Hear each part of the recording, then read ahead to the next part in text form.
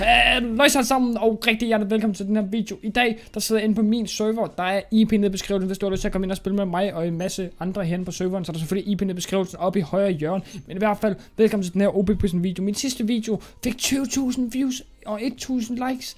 Hvor sindssygt er det ikke lige? Så hvis vi kunne ramme 300 likes plus på den her video, så vil jeg blive utrolig, utrolig glad. Og så skal vi selvfølgelig også lige have dagens subscriber op på skærmen her. Så hvis du ikke ved, hvad dagens subscriber er, så er det bare, der kommer en tilfældig subscriber op på skærmen, ligesom ham her, der er på skærmen lige her. Så hvis du gerne vil være det, så skal du bare gå ned og smide subscribe. Vi har lige rundet 16.000 subscribers. Det er fuldkommen sindssygt, så tusind, tusind tak til alle jer nye, der er kommet på kanalen. Det betyder virkelig meget for mig, at jeg har ramt 16.000 subscribers. Men i dag, der... Øh, nej, jeg kommer til at lukke. Nej, nej, nej, nej, nej. Det skete bare ikke der. Øhm, jeg tror, man kan skrive skråstreg hus, øh, og så lige skrive øh, plot tillad. Det virker måske ikke helt. Player not found. Nej, selvfølgelig gør det ikke det. Okay, det virker ikke helt endnu. Ej, hvor træls. Nu render de her rundt på mit plot, så hvis jeg lige gør sådan her hurtigt. Sådan der. Okay, vi blokker dem af, så de i hvert fald ikke kan komme hen til mig, for det er rimelig vigtigt, fordi at, øh, jeg skal nemlig lave noget hernede, for det er hernede, vi skal se. For i dag, der skal jeg vise jer, hvordan man tjener penge på Cube MC, a.k.a. min server. Så det skal vi simpelthen tjekke på øhm, i dag, og så tænker jeg, at vi skal i gang her. Det jeg tænker, vi gør, det er, at vi skal have lavet nogle sticks. Jeg har en masse træ her, jeg er nødt at købe fra shoppen, inden at øh, shoppen den lukkede til at købe træ. Så der var jeg rigtig heldig. Øhm, jeg ved ikke, om vi har et crafting table. Det må vi lige lave så. Vi laver et crafting table en gang. Øh, det var i hvert fald ikke en crafting table, det der. Øh, og så sætter vi det der. Og så tænker jeg, at vi først og fremmest, der laver vi nogle sticks. Vi laver lige en masse sticks, fordi vi skal have nogle skilte til det her, fordi vi skal, vi skal i hvert fald have lavet en shop til, så de her kan komme ned til mig om lidt. Øhm, fordi det er ligesom lidt det der er ideen med, at de skal komme ned og købe nogle ting ved mig, hvis altså de har lyst. Fordi at det, er, det er sådan, jeg laver lidt sådan nogle slags donator ting, så hvis jeg har lyst til at købe de her ting, så er I mere end velkommen til at gøre det. Øhm, jeg ved ikke helt, hvad vi skal sælge. Hvad er det nemmeste at sælge? Det er vel noget bøf, tænker jeg, er det ikke? Eller nogle golden apples. Jeg ved ikke helt. Kit, er der ikke noget kit food? Så jeg tænker, mad det er sådan det, lidt nemmeste at sælge.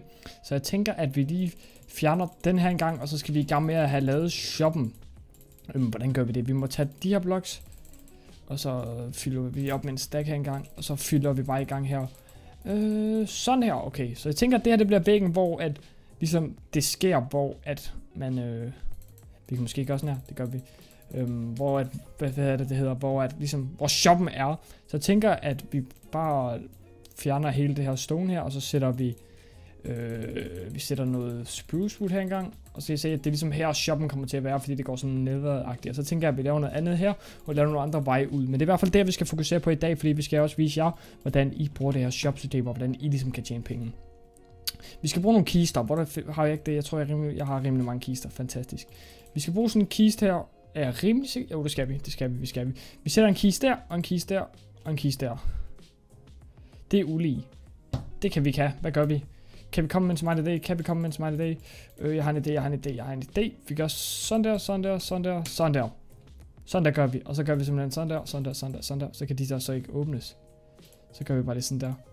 Sådan her, og så fjerner vi simpelthen de her blocks om bagved, og så er der vi bare noget træ om bagved, for så ser det egentlig, ej, det er ikke sådan der. Så ser det egentlig fint nok ud, hvis jeg selv skulle sige det. Øh, hvis vi kan ramme træet derom. Ellers ser det ikke så godt ud, hvis vi ikke kan ramme træet der. Og der, sådan der ser det simpelthen ud. Og så, det, det, det skal nok gå, det skal nok gå. Øhm, det jeg tænker, vi sælger, det er, at vi sælger noget bøf, fordi hvem vil sælge, der er ikke nogen, der kan lide bøf, så det, det, det sælger vi selvfølgelig. Det vi gør, er, at vi skriver øh, der, og så skriver vi, øhm, øhm, øh, nu skal jeg lige huske det. Det er faktisk lidt pinligt. Jeg kan ikke huske, hvordan, hvordan man skal skrive. Okay, så jeg fik lige min dejlige øh, head-up med til at komme over lige og sætte det her, fordi jeg kunne faktisk ikke huske, hvordan man shopper, for det er godt nok lang tid siden, jeg har gjort det. Så det er navn, antal, pris, item. Så det vi gør, det er, at vi sætter den der, og så sætter vi navn, det er selvfølgelig Nox.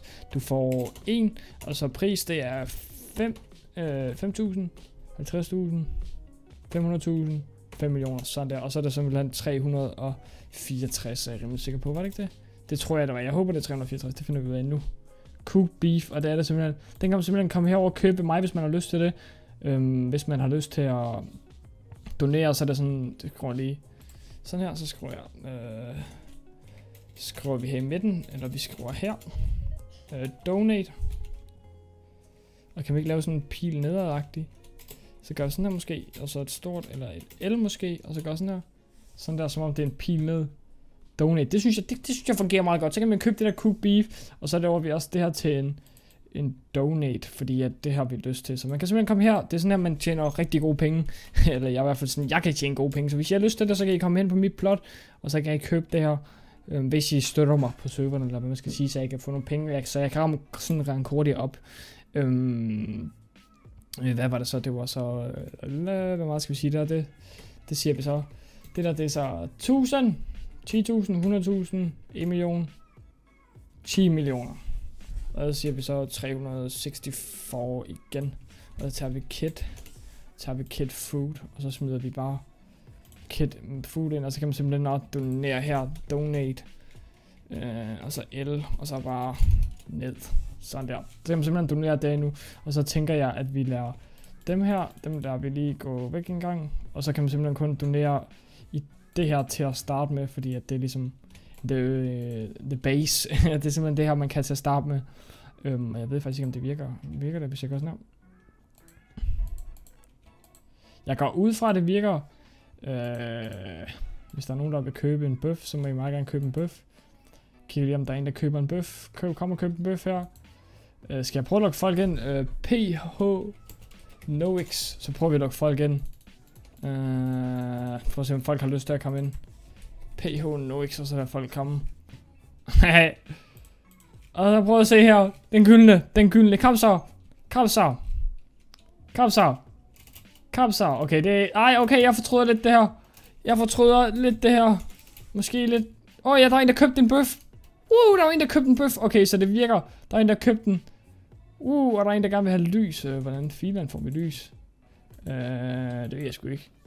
Der har jeg nogle fakler eller sådan noget herinde. Der har jeg, nogle fakler her. Er der vi den der der, og så den der her, så er der vi nogle fakler rundt omkring. Sådan der. Så mangler vi i hvert fald ikke lys. Og der er masser, der køber en masse cool beef. Prøv lige at se alt det her penge, jeg tjener. Det er sådan her, man bliver millionær på serveren. Woohoo! Prøv lige at se.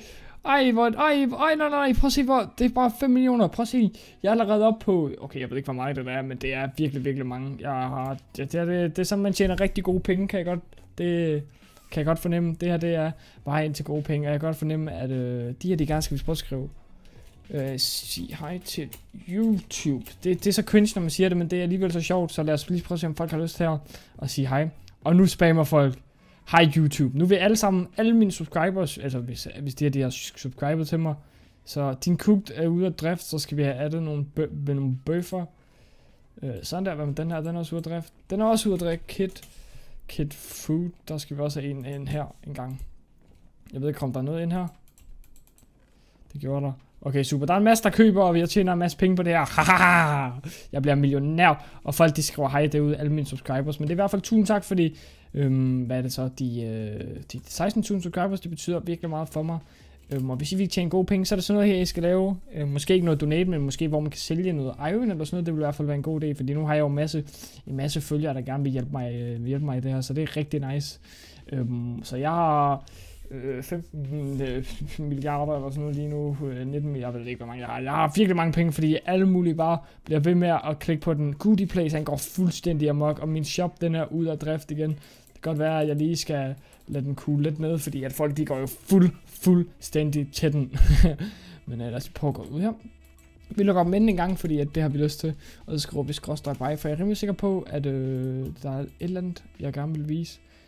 Øh, hvad var det nu? Ekstra commands, gems, hvad var det nu? Nå ja, hvis I ikke ved, hvad gems er, det er ikke fordi man skal, det, jeg ved ikke, hvorfor jeg gik derhen og gør det, men det er sådan, gems, det er noget at gøre med serveren, som mange ikke ved, så noget at gøre med loot som jeg kommer til at vise på streamen, så hvis du gerne vil vide omkring det, så skal du faktisk bare gå ned og, hvad er der, du skal sådan set bare se min stream, for det er normalt der, og så normalt om mandagen og fredagen, vi åbner op for loot så hvis du ved, hvad det er, så gå, ja, så kig min infovideo igennem. Men ellers vil jeg sige tu tusind tak, fordi du gad at med på den her video. Det var egentlig alt, jeg havde for jer i dag, at, øhm, fordi jeg bare lige hurtigt vil tjene nogle nemme penge. så jeg tjener nogle nemme penge, og jeg tænker, at vi kan ranke op. Der ranker vi op, som om det var ingenting. Prøv at se, vi ranker op. Jeg ved ikke, hvor mange penge vi har nu. Battle. Vi har stadig kassen. Altså, jeg tror næsten, vi kan komme... Jeg tror næsten, vi kan komme hele vejen til set jo, fordi vi har jo så mange moneter. Så prøv lige at se her. det tak. Okay, nu har vi så ikke penge nok. Det var overhovedet ikke nok. Men vi har været vi er allerede i N. Så tusind tak til alle jer, der gik ind og købte det. Det betyder meget for mig. Jeg er allerede i N på grund af jer. Og nu har jeg nogle rankopskeys, som ikke virker. Fordi nogen droppede mig. Men i hvert fald tusind tak, fordi I gad som den video. Jeg håber, I har nyt videoen. Og forhåbentlig lærer, hvordan man bruger shopsystemet. Så vil jeg egentlig bare sige tusind tak, fordi I gad som med. Og så ses vi egentlig bare meget snart igen. Halløj! Eller vi ses!